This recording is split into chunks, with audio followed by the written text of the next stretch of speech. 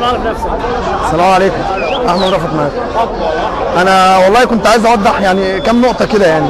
بداية يعني أنا حاسس كتير قوي إن السيد عصام شرف ضعيف وسط الجو اللي هو عايش فيه. مضغوط جامد جدا وفي نفس الوقت تعبنا قوي قوي قوي قوي معاه. مفيش حاجة بتتنفذ مفيش أي إجراء بيتخذ. وفي الوقت في نفس الوقت إحنا برضه تعبانين متعذبين مضغوطين جامد قوي. شباب مش لاقي شغل. ناس عايزة دم شهداء دم أولادهم. كل حاجة في الدنيا لسه ما اتحركتش ولا حصل أي حاجة. مفيش جديد. وجهة نظرك إيه؟ الحل إن هو لا يجي واحد يتقي الله فينا. مين بقى زي مين؟ هو هيوعى من عند أي حد يعرف برضه إن إحنا عايزين واحد يبقى يتقي الله.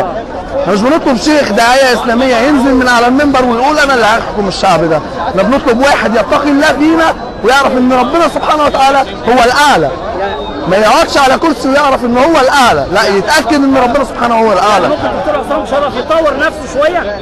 لا بعيد عن التطور هو الدكتور عصام شرف. أصل ما ينفعش أغير عادة وسلوك ومبدأ هو أصلا متخذه. ده بالإضافة على الضغوط اللي عليه. إحنا عايزين واحد بتخاطب الدكتور عصام شرف بالتنحي. ويجي يقف في ميدان التحرير وحد يكمل ده. يكون أفضل كتير جدا ليه وهيتشال فوق رؤوسنا كلنا.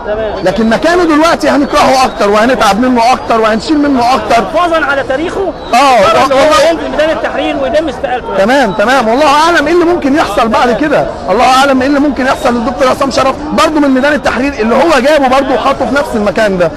فإحنا بنطالب بنطالب واحد يجي يتقي الله فينا سواء رئيس فيما بعد سواء رئيس وزراء مؤقت لحد لحد ما البلد حالها يمشي واحد يتقي الله فينا. إحنا شعب تعبان زيادة عن اللزوم.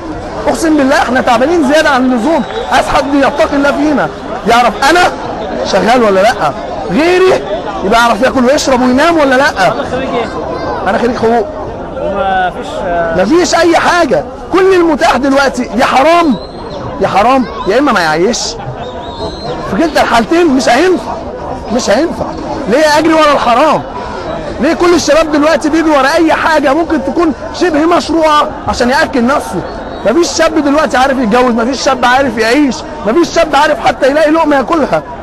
دلوقتي الشاب حتى لما بيتجوز بياخد مراته وبيروح عند بيت أبوه عشان يأكلها. فطار وغدا وعشاء. دلوقتي الشاب لما بيطرد من شقة إيجار هو ما يعرفش يدفع إيجارها بيرده بياخدها عند بيت أبوه أو بيت أبوها عشان يقعدها هناك مش عارف يصرف عليها. لحد إمتى إحنا هنفضل كده؟ يا دكتور عصام ارحمنا عشان ربنا رحمته واسعة. ارحمنا ارحمونا وهاتوا لنا حد بيتقي الله فينا. مش قادرين والله.